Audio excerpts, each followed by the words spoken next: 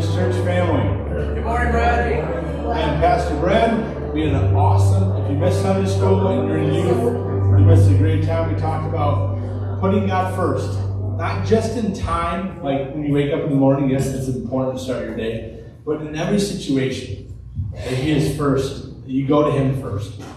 It's so important. Let's go to Him right now first as we pray. Yes. God, I just thank you for this opportunity to go to you first in our days to just start out with you and throughout the day to just come to you. What do you say about it? What does your word say about it? We worship you. We praise you, God. Let us listen to you today in Jesus' name. Amen. God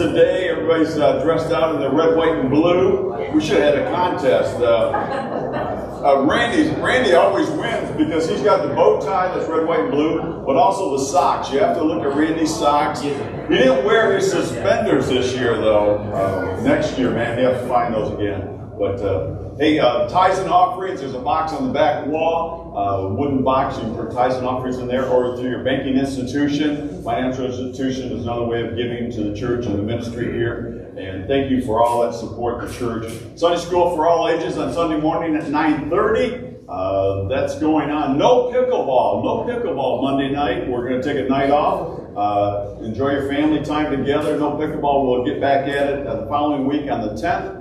Also, no food pantry tomorrow, uh, but we are having food pantry church cookout on the 10th also of July, uh, between from 11 to 1 o'clock. It should be 2 o'clock, close enough. We'll figure it out. Uh, great time to come and minister to those in our community. Uh, sit down and talk about Jesus with them. Great time to be doing that together. Next slide. Oh, also there's a, um, a I thought we had a slide about the fruit. Uh, Brad, see Brad about the fruit. Fruit. Have you started that yet, Brad? Yes, It- it's gone on to its, it's about ready to go to its third house. Third house. Okay, so you can buy fruit inspector insurance. Check with Brad on that. He can give you more information information about that uh, as well. There, uh, back up. There it is. There it is. Uh, the fruit. We talked about that a little bit last week, but uh, see Brad. He's got that going on. A little fundraiser for the kids, having fun doing that, and showing love to one another along the way. Let's do our verse together. Don't be misled. You cannot mock the justice of God. You will always harvest what you plant. Those who live only to satisfy their own sinful nature will harvest decay and death from that sinful nature. But those who live in the Spirit harvest everlasting life from the Spirit. Galatians 6, 7, and 8.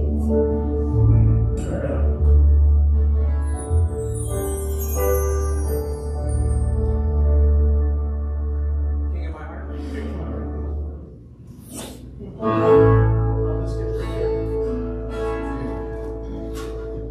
Let the king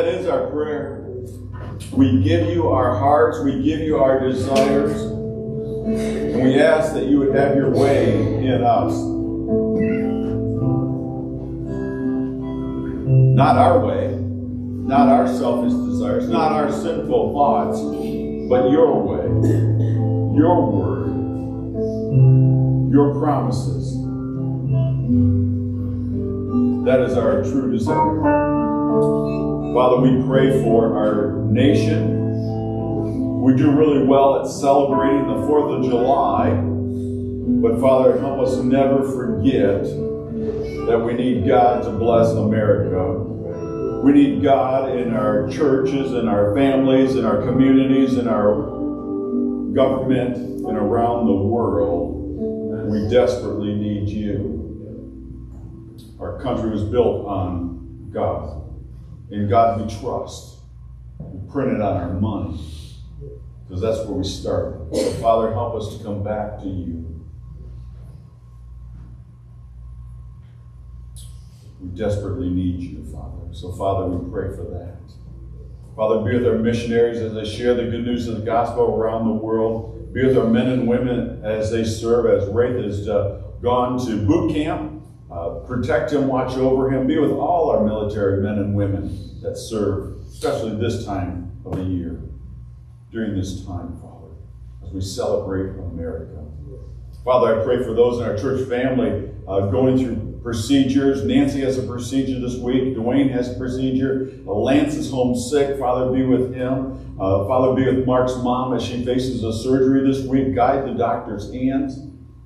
And Father, I pray for the family I just found out about this morning who lost a child to a drug overdose. Father, you know all about the situation. We pray for that family. Father, we pray for Bill and Heather Whitney and the loss of their child as they put him to rest this week. Father, we pray that you would comfort them and walk with them. Be with little Luke as he fights for every breath, every day, every time. So, Father, we pray for that. Father, we all come with needs and things of our own life that we struggle with. But Father, today is one of those days that we can just rest in you and lay it at your feet and know that you are more than able. Our desire is to love you, and we know that you love us. So, Father, help us to experience and feel and know that we are loved by the Father. In Jesus' name, amen. You may be seated. The children can be dismissed for junior church.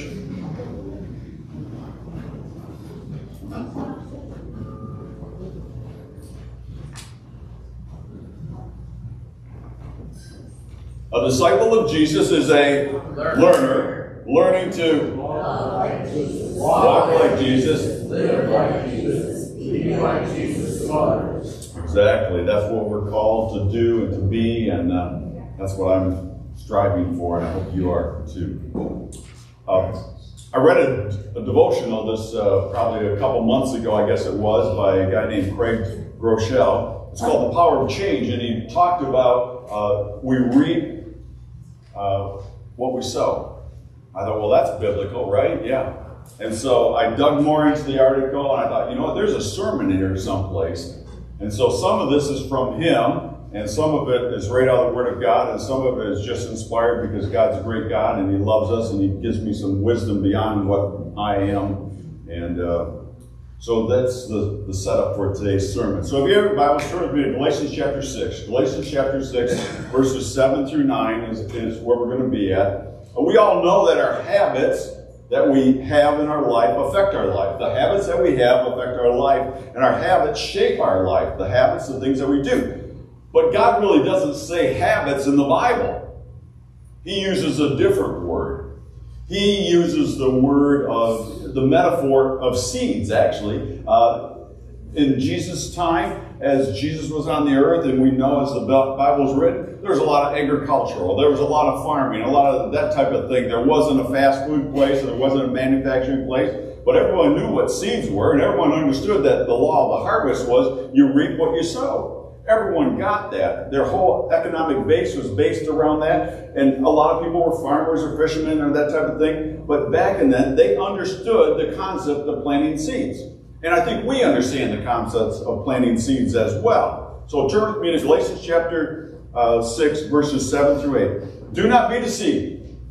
God cannot be mocked. A man reaps what he sows. Whoever sows to please their flesh, there's one option. Uh, from the flesh you'll reap a destruction. Whoever sows to please the Spirit, there's the other option. From the Spirit reap, reap eternal life.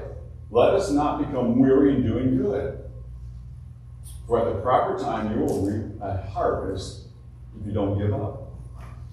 You reap what you sow. For us non farmers, let's do a little word definition so everybody's on the same page. The word sow means to plant. Sowing a seed means to plant a seed. You put it in the ground. To reap is what you gather, what you get out of the ground. It is what grows out of the ground. Not all things grow upright. For example, potatoes grow in the ground. Sweet potato. Um, they grow in the ground. Okay? So reaping and sowing. Everybody understands the definition thereof. I think it's in the bulletin as well. So let's start to break down the passage. Do not be deceived. Don't be misled, is what Paul's saying. Uh, don't, don't miss this ideal. Don't be led astray. Don't be foolish. Uh, don't be stupid, would be another way of saying that. Uh, you reap what you sow. Don't miss that. Don't be misled by any of that. He continues saying, God will not be mocked. The Greek translation of mock means to thumb your nose at someone, make fun of them, so to speak. You might be able to fool some, fool some people some of the time, but you're not going to fool God any of the time. You can't ignore and get away with what you're doing. You can't get away with it. You might think you're getting away with it, but God sees it. Just because he doesn't strike you dead the minute you do something really stupid doesn't mean he doesn't see it. He sees it. He still records it. He still understands it. So don't be deceived. God can't be mocked. Don't fool. You know, a lot of people can try to fool their family or neighbors or friends and things like that. You don't fool God. Not at all. And your bad behavior, you can't just excuse it. You just can't say, oh, that's the way I'm made, or uh, the devil made me do it, so to speak. You can't justify it, and you can't blame your bad behavior on someone else. Don't do that as well. We will be judged according to our character and according to what we do by the seeds that we plant. The next words, a man reaps what he sows. Uh, that's what we need to understand. We need to be wise about that. Don't misunderstand. Don't be misled. When you put seeds in the ground, you get crops out of the ground. Okay? Everybody understands the concept? Next slide, please. This is a harvest of Randy and Jill. A little bit of onions, cucumbers. You said those are turnips? Is that right? Turnips. Those are red skin potatoes, not beets. Someone was trying to tell me they're beets. They're red skin potatoes and little green beans.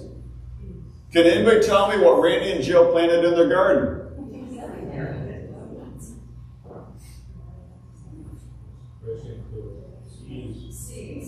They planted seeds.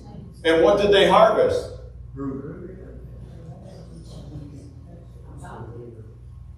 Do you think Randy and Jill went out and said, hey, you know what? I want some apples. So I'm planted all those seeds, but they're standing around waiting for apples to grow.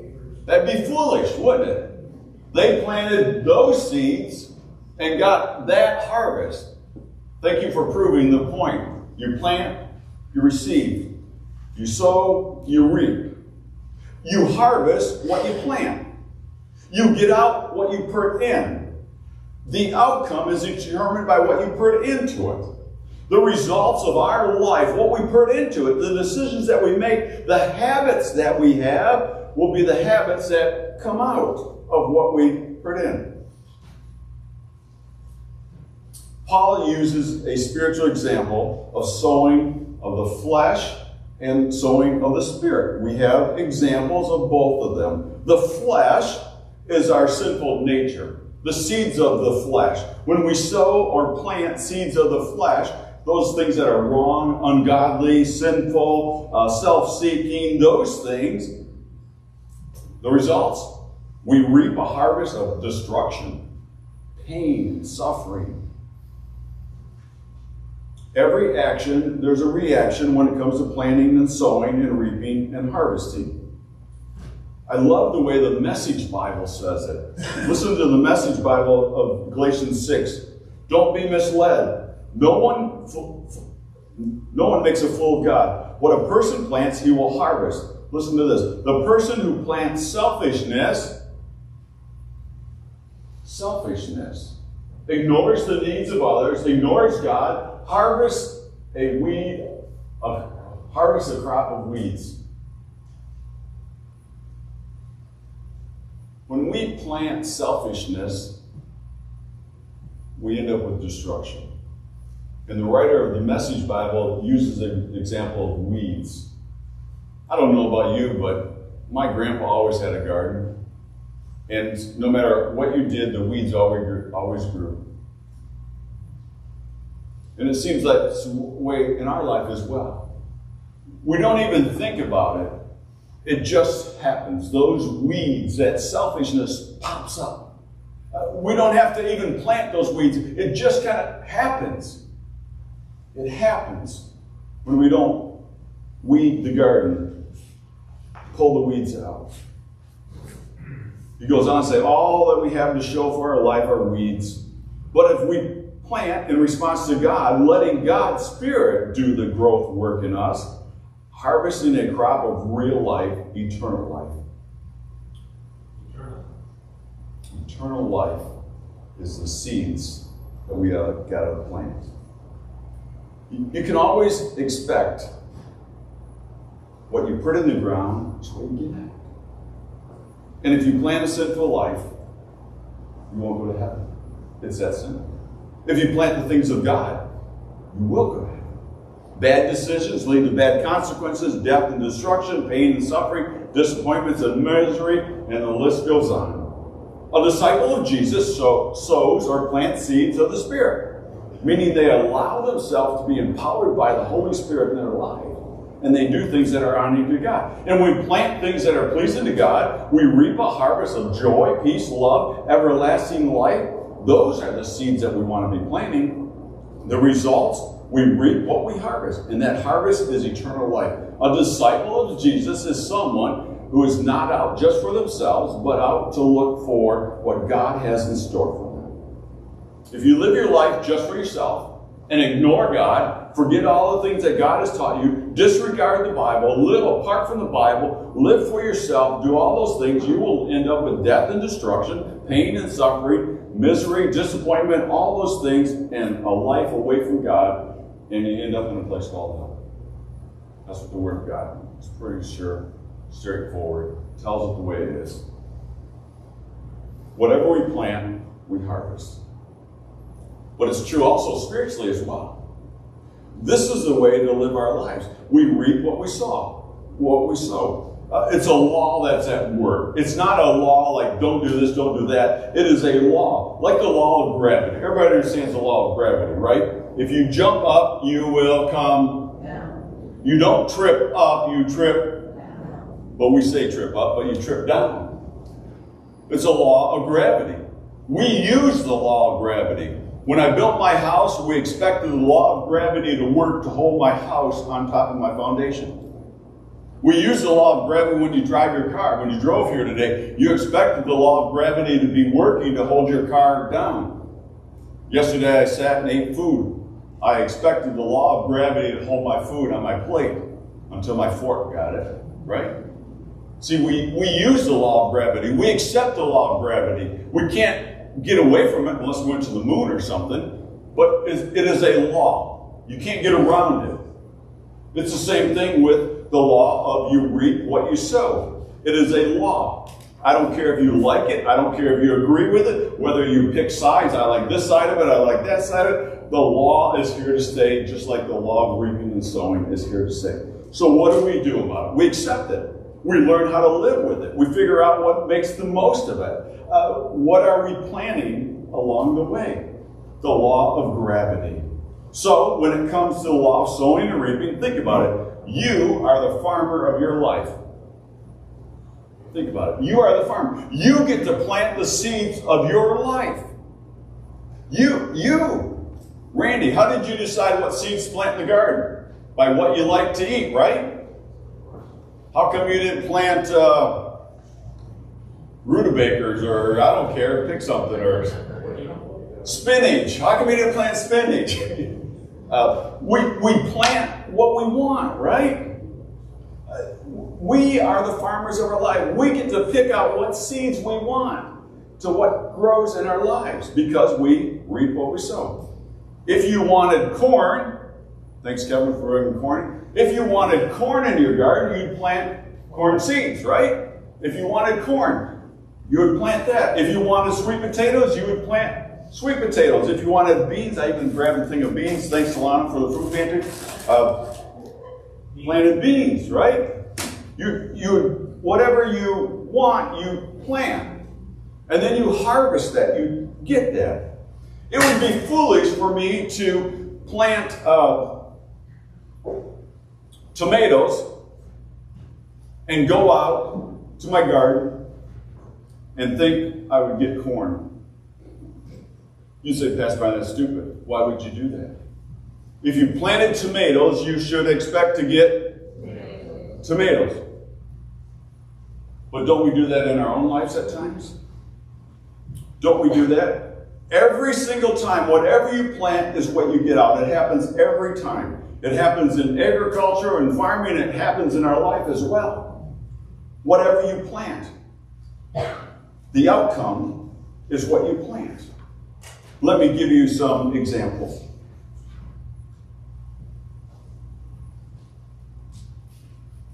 If I lust after my neighbor's wife, and when I go to the gym, I lust after the girl in the, uh, the other workout suit, and I go on the internet and I watch some other stuff, and I lust after that stuff. Those are seeds I'm planting. And I get home, my marriage is a mess, and I can't figure out why God's punishing me for a messed up marriage. But see, I'm planting these seeds, and I'm expecting a different outcome. See, we said it was foolish to plant tomatoes and expect corn. But see, we do that in our lives, don't we? Isn't that how it plays out in our lives? Why would I do that? It's what I planted. I planted those things. Here's another example. Uh, a college student graduates from college, uh, gets a great job, shows up late for work, doesn't really put in the full effort, leaves a few minutes early, and then there's a, a promotion available. And she's like, I'm on it. I'm, I got it. I, I, I'm the college student. I can. And she gets passed over. And then she blames God. God, how come you didn't? I was more qualified. The seeds that she was planting was showing up late and not giving 100% and leaving early and taking an extra long lunch hour. And then she wonders why she doesn't get the promotion. You see the seeds that she's planting in her life? And the outcome? Yeah. Why? Why would that happen? You know, my boss isn't fair. No, it's what you've been planning. Here's another example. A guy sits around and, you know, eats mashed potatoes and baked beans and dressing and lots of breads and flies the couch often and doesn't exercise and comes the weekend, he has a few since it's Friday and then he has a few more on Wednesday or on Saturday and then just because the middle of the week have a couple and then Sunday it's the last day of the week so you have a couple more and then he turns 35 and he realizes he's 35 pounds overweight. How did that happen? And then when he turns 50, he's got cirrhosis of his liver and his kidneys are shutting down. And he's like, God, what, why are you punishing me? What has he been sowing all this time?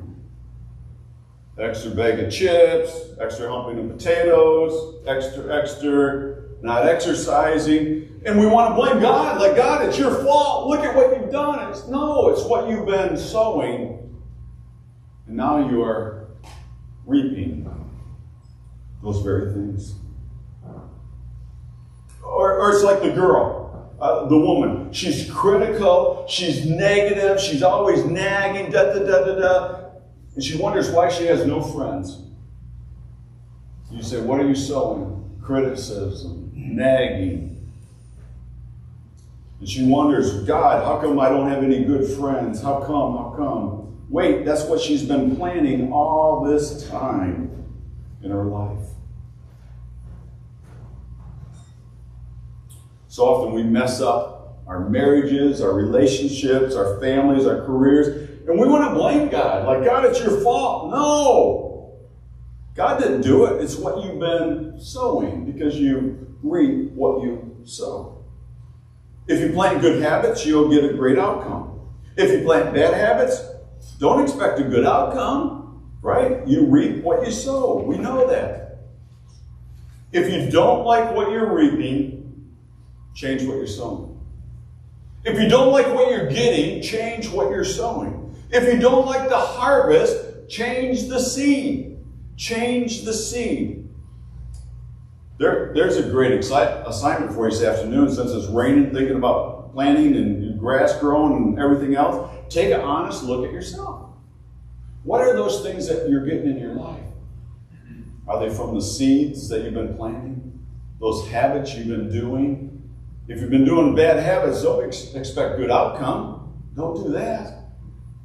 Understand what's going on. Search your heart. Ask God to help you. Uh, figure it out. There's a point when it comes to habits and things like that. Sometimes, you know, it's always easier to blame someone else. You know, uh, it's their fault. They, you know, I'm, I'm the way I am because of someone else. Uh, uh, I'm the victim. Uh, take responsibility for what you're doing. There's things that you can do to get a better outcome. There's things that we all can do for a better outcome. Don't deceive yourself. Understand. If you don't like what you're reaping, change what you're sowing because we reap what we sow. Romans 8, 1 and 2 says it like this So there's no condemnation who belong in Christ Jesus. And because you belong to Him, the power of the life giving Spirit has freed you from the power of sin that leads to death. So the Holy Spirit has freed us from those bad seeds to having good seeds. He has freed us through the power of God. He has freed us so we can have new habits, new growth, new seeds that leads to God. Like sowing seeds, like reading the Bible. There's a great seed to have. Uh, the seed of reading the Bible, taking in the Word of God, the promises of God, the miracles of God, uh, learning about God, harvesting those thoughts of God in our lives, or the seed of worship, having the, the worship as you drive to work in the morning or in the shower or how, wherever and however you do it. Uh, having that song in your heart, we talked about that a week or so ago, uh, that we have those seeds in our life, they're good seeds, things of the Spirit, sowing the seed of thinking about how can I serve somebody today? God, I know you're going to bring somebody in my path, somebody that's going to come across my path that you want me to serve. Maybe it's just to open the door for them and a smile. Maybe it's a handshake. Maybe it's a hug. Maybe it's fix their flat tire. Maybe it's give them two bucks, whatever it is. God, I don't know what you have in store for me, but God, I want my eyes open. I want to sow a seed of generosity because when I do that, I, I realize how grateful, how incredible that God has blessed me so I can help someone else. Sowing seeds like that. It, it goes to parenting as well. You know, uh, we take our kids to Sunday school so they learn about Jesus, right? Uh, so they understand the things of God. So they see us worship. They, they understand why we come to church so we can worship and gather together because it's important to do that. And as we do it with our little children, as they grow up, the Bible says when they're old, they shall not depart from the things of God. Are you sowing those seeds into your children? Sunday school classes and junior church and all the other activities and kids club and youth group and great things. What kind of seeds are you sowing in your life? What kind of seeds are you planting? The ones that lead to eternal life or the ones that lead to death? Paul's really clear, strong, he says, Don't be misled, don't be deceived. You can't plant bad seeds and expect good outcome. You can't plant tomatoes and expect corn. You plant, you harvest the very thing that you plant. You harvest exactly what you plant. If you don't like what you've been harvesting, let's change the seed. Let's plant the seeds of the things of God. So we can have love and joy, peace, forgiveness, faith. I, the, the list just goes on. So we can have eternal life. Whatever you plant is what you harvest in your life. Let's bow our heads just do a quick examination of your life. What kind of seeds are you planting? Ones that lead to destruction, selfishness, weeds, or seeds that lead to eternal life through the Spirit of God?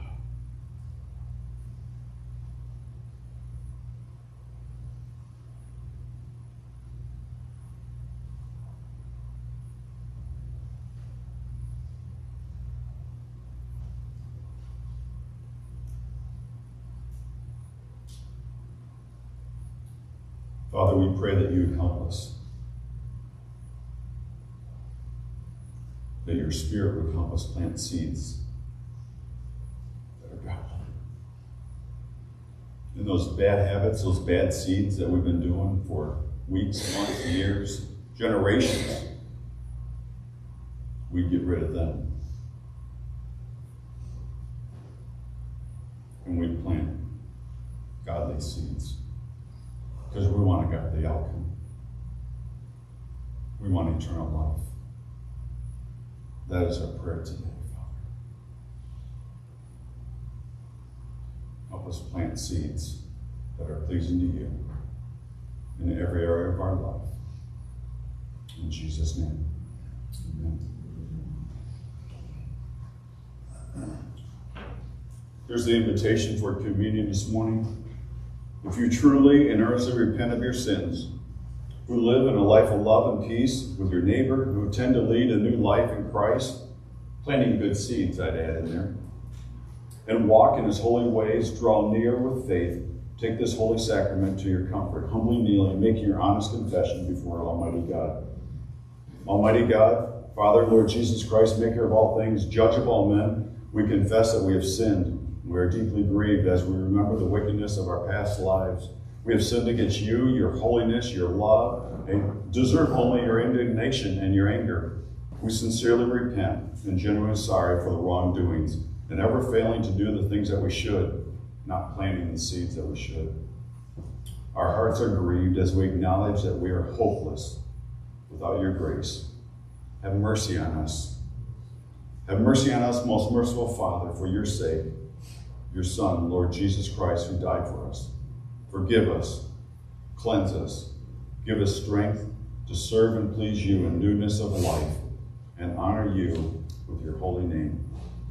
Amen.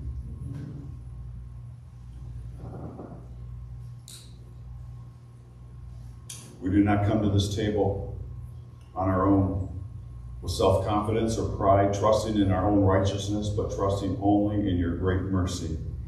We are not worthy to gather the crumbs under the table. Forgive us. Help us to live in obedience to your Son.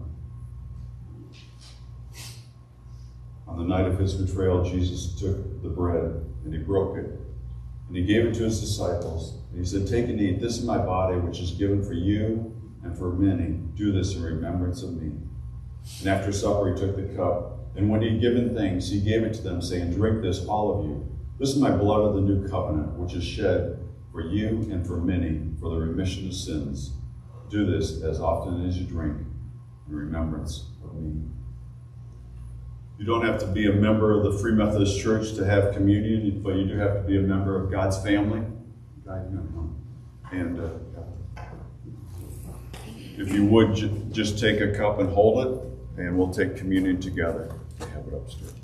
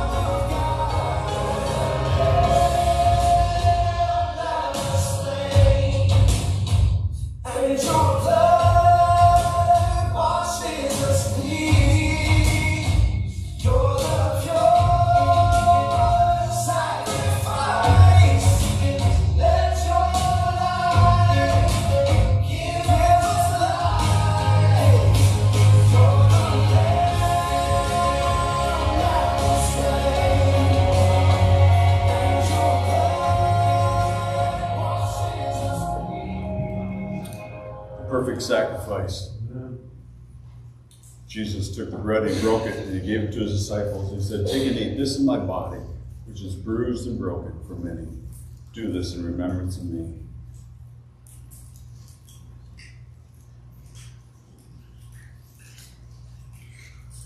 In like manner, he took the cup. And when he given thanks, he gave it to his disciples and said, This is my blood of the new covenant, which is shed for the forgiveness of sins. Do this in remembrance of me.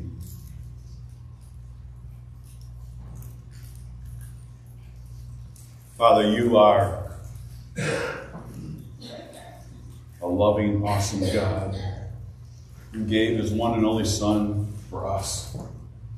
Jesus, the perfect Lamb of God, the perfect sacrifice, only one that was worthy to die for us.